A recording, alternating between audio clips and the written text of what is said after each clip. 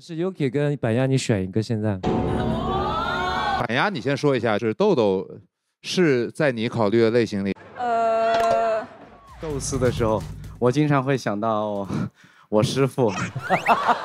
艺术家不都这样吗？然后，这个故事的构思真的是所有四川耙耳朵男人的平行世界。哦，那这件事情啊，就要问问程炫队长了哈。我觉得我耙耳朵的方法有点不同哎。啊，在吃饭的时候明明不会吃辣，然后就是硬吃辣。我有过这个，对我也是体炼到了这个辣，我现在吃辣不怕。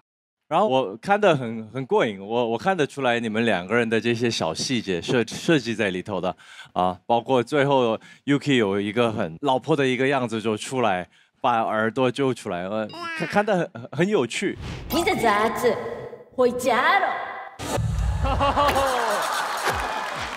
我觉得很好，从整体的编排，然后到音乐都非常的好，在桌上点菜的那个细节我也觉得很好，什么这加一个怎么样，这些很细节，然后再到道具的运用，也是一层一层的叠加。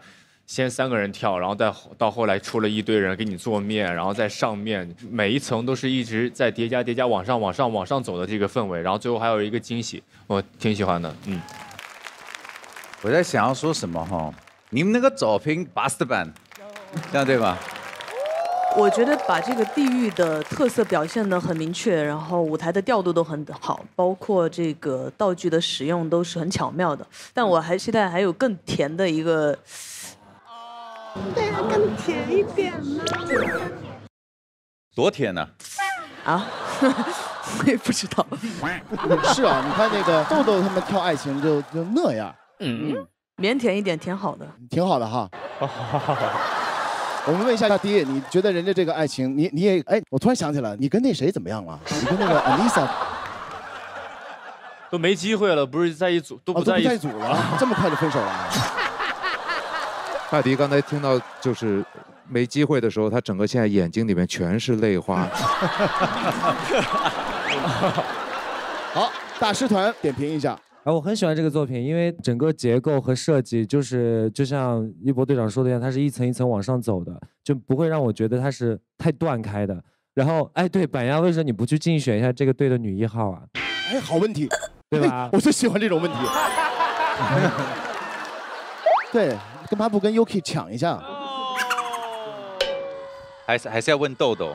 对，还是要问豆豆。嗯，豆豆，如果是 Yuki 跟板鸭，你选一个现在。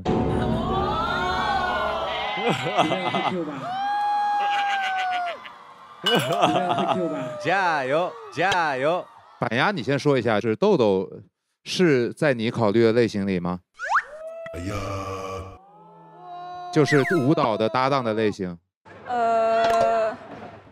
没有，主要是他们两个，呃，比较，比较什么？比较什么？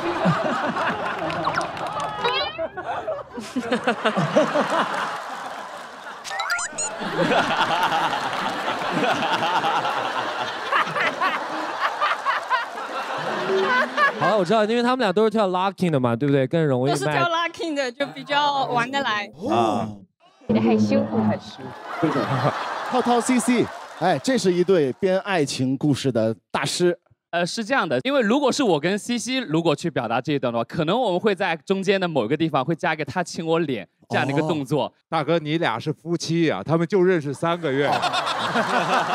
对，所以我想说，其实我觉得他们这个爱表现的很好，因为这个就是年轻人青涩的爱。好，对。